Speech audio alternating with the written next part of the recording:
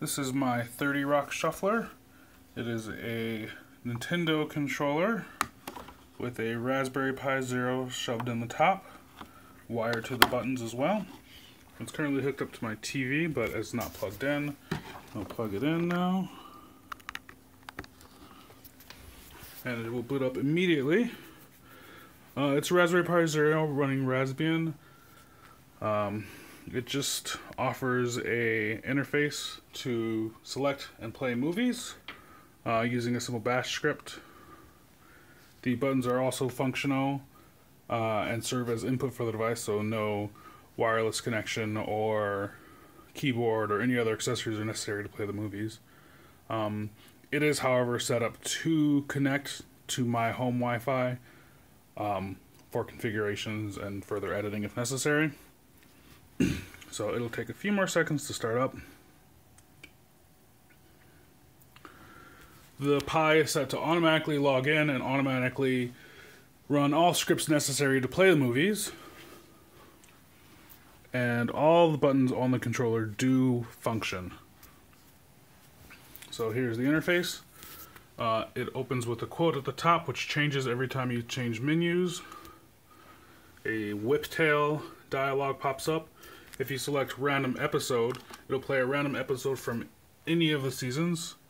Um, it gives a 10 second countdown, which you can cancel if you want, or it'll automatically play after that, or you can just have it play right away. It use, uses OMX Player. One day, sir, this whole city will be yours. Oh, hey, can I talk to you? The up and down button serve as volume adjustment. Forward and backward serve for seeking.